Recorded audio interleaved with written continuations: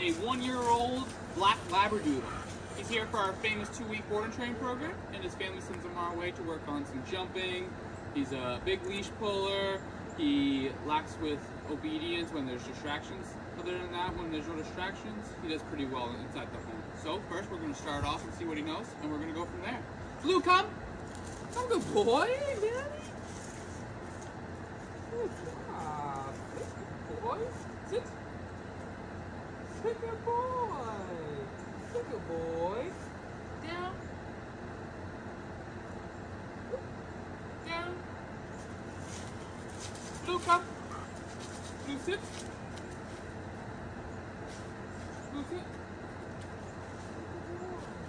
Down. Down. Sit. Sit. No. Down. Down. Place. Place, good boy.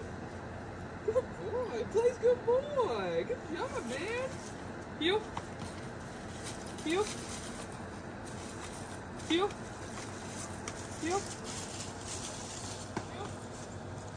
Heel. Heel. No.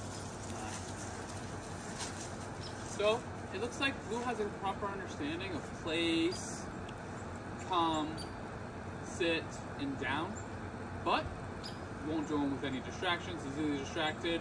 He loves to pull on the leash once he once he gets excited. So we're gonna work on this for the next two weeks, and we're gonna have him off leash in no time. Check back.